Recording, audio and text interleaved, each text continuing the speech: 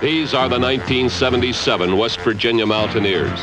Young, talented, determined. A team patiently assembled, built with young men of superior dedication and a strength resembling the towering mountains of the state they represent.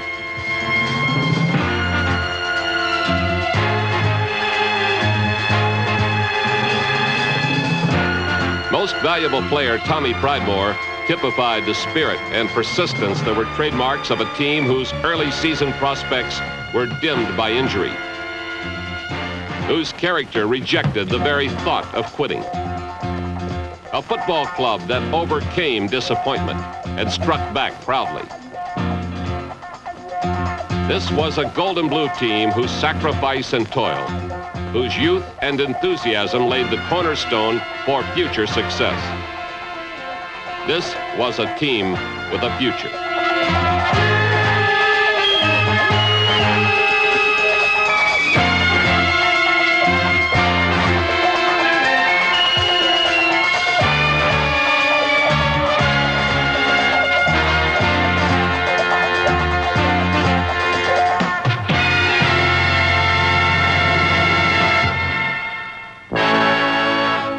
Frank Cignetti's 1977 West Virginia Mountaineers displayed their zest for the game in an early season upset of the Maryland Terrapins at College Park.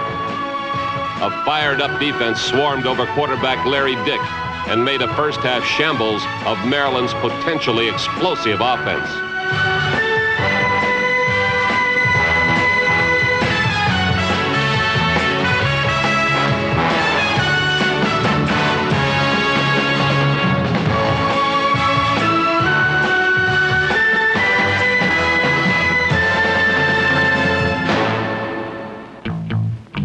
Losing wide receiver Steve Lewis for the season on the game's sixth play, quarterback Dan Kendra adjusted and struck with passes to tight end Randy Swinson and fleet sophomore wide receiver Cedric Thomas.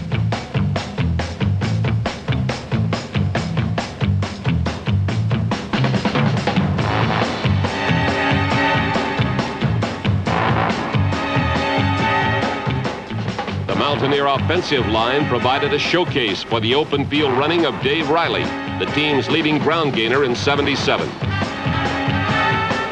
A record-breaking field goal by Bill McKenzie gave West Virginia a surprising 24-0 halftime lead. But it took an intentional safety and an exceptional defensive play by Tom Pridemore on the ensuing free kick to help preserve the victory.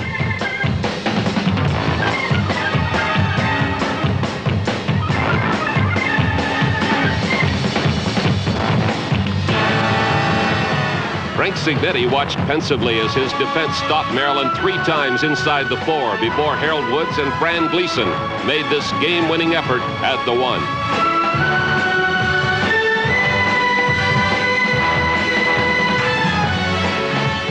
Their response to second half adversity gave the Mountaineers a treasured victory and nationwide attention.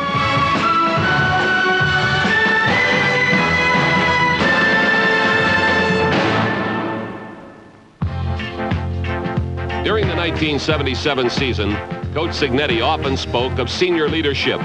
It was an area where a number of Mountaineers played distinguished roles. Tailback Dave Riley, a powerful, constant threat, accounted for nearly 800 all-purpose running yards.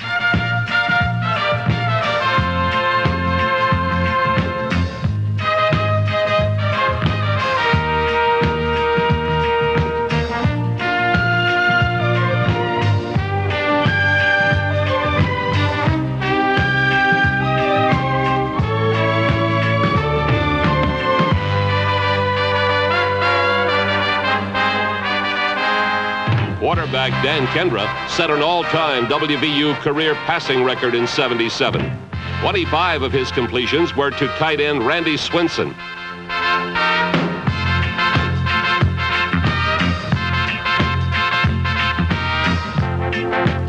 A big, tough, clutch receiver, Swinson totaled 357 hard-earned yards.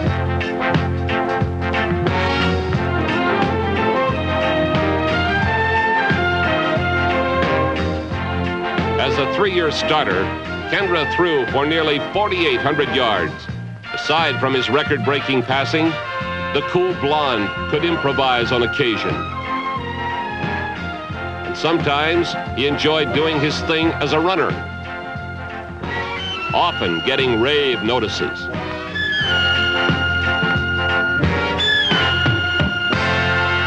And the Mountaineer defense had its share of senior leadership. Men such as number 45, Lester Johnson, defensive tackle, and number 51, Fran Gleason, a defensive end. And don't forget number 15, Kevin Berkey, a hard-hitting safety. From the left corner came Harold Woods, number one in your program and many times number one on the tackle. But more often than not, the big play was made by number 22, free safety Tom Pridemore, a demon on the blitz. A nemesis on the deep pass.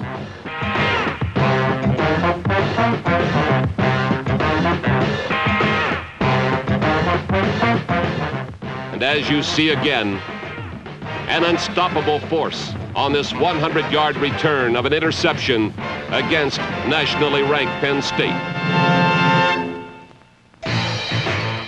Told, Pridemore broke nine potential tackles in perhaps the nation's most spectacular defensive play of the year.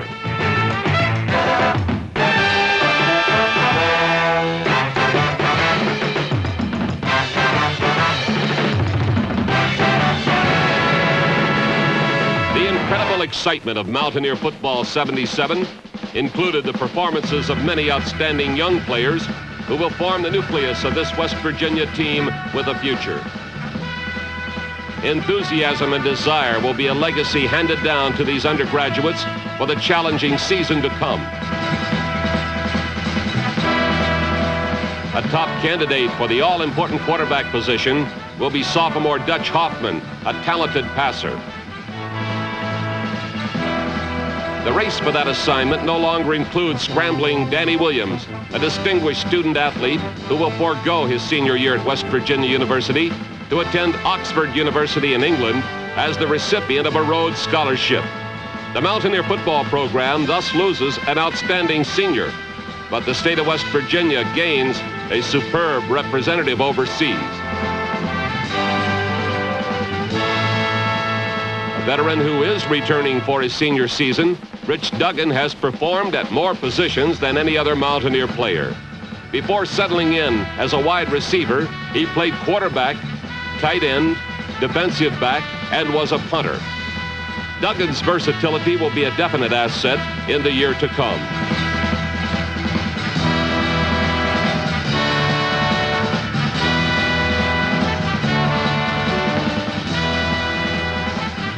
You may recall he stepped in following an injury to wide receiver Steve Lewis, who was knocked out of action for the season on this reception against Maryland. Lewis is a bona fide All-American candidate for 1978. But that's only part of the good news. The Mountaineers' long bomb threat is back for his junior year. Cedric Thomas, as a sophomore, caught 37 passes for 699 yards and eight touchdowns. Now with the return of Lewis, Thomas will have some of the defensive pressure removed from his young shoulders, allowing him to take full advantage of the speed that has added an exciting dimension to the West Virginia attack.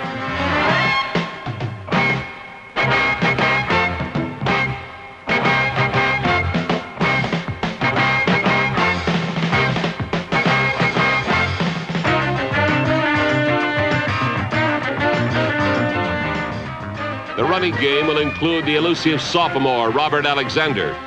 In spite of an injury-plagued first season, Alexander rushed for 426 yards.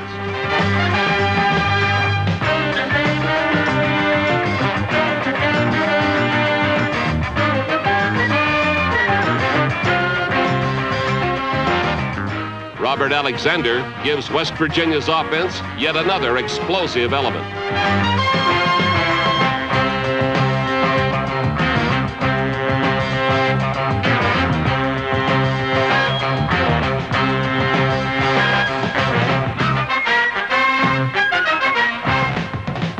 And if it's power running you enjoy, look in the direction of Walter Easley.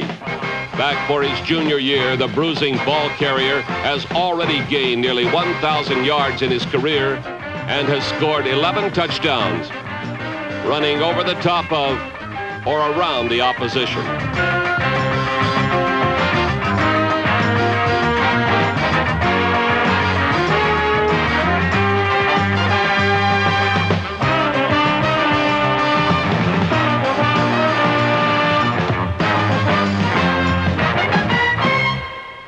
In 1978, as in 1977, the Mountaineer defense will revolve around middle guard Joe Jellick, number 65. Jellick pursues like a cat and hits like a tank.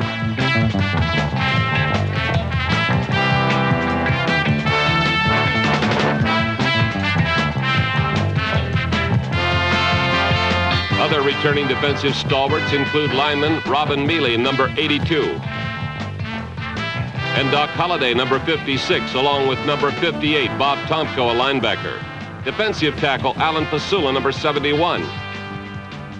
And there's Delbert Fowler, number 95, back for the second season of a career that promises stardom.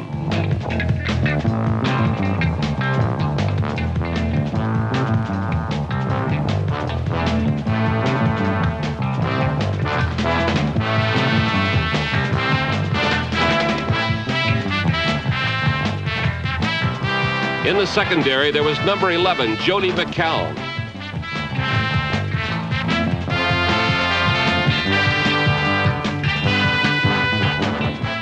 And number 40, Fulton Walker, one of the finest young athletes on the team.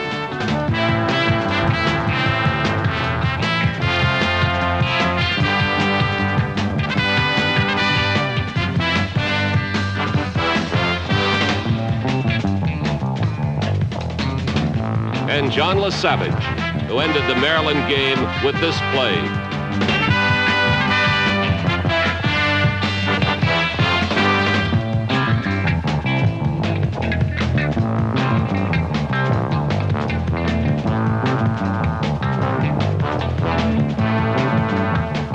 Number 55 will be a senior in 1978. A hard-nosed redhead who was born in Cleveland where his dad played for the Browns. Jeff Massarelli is a defensive cornerstone, a smart, rugged competitor, a serious student.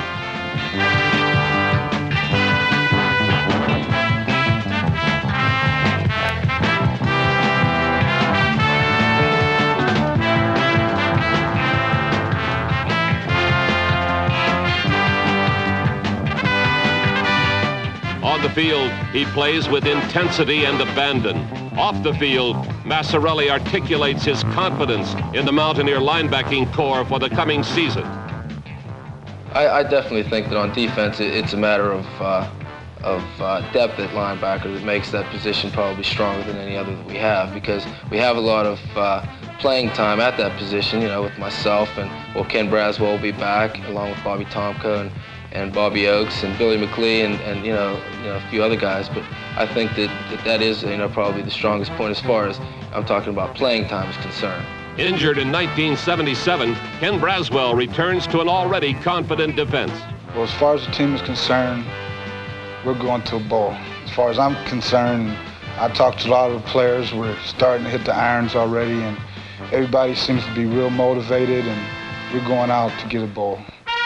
Playing perhaps the toughest intersectional schedule in the nation next year, West Virginia faces encounters with Oklahoma, California, North Carolina State, Colorado State, Pitt, and Penn State, along with several traditional rivals.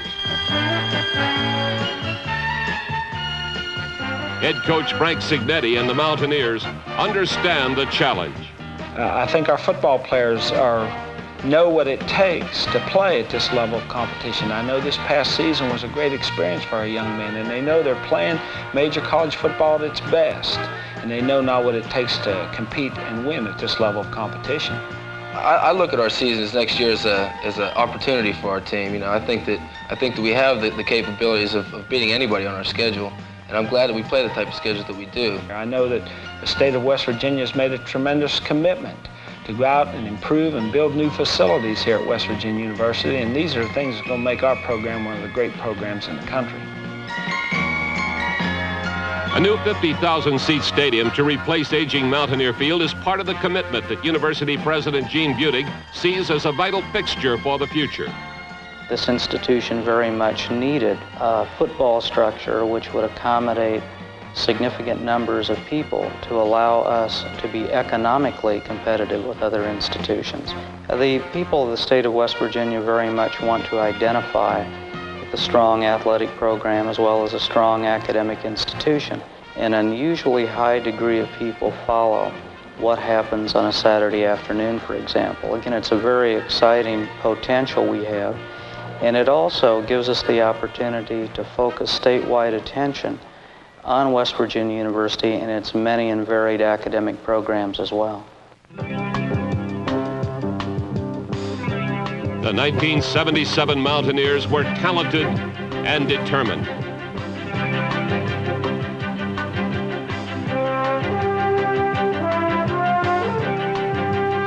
They were exciting and explosive.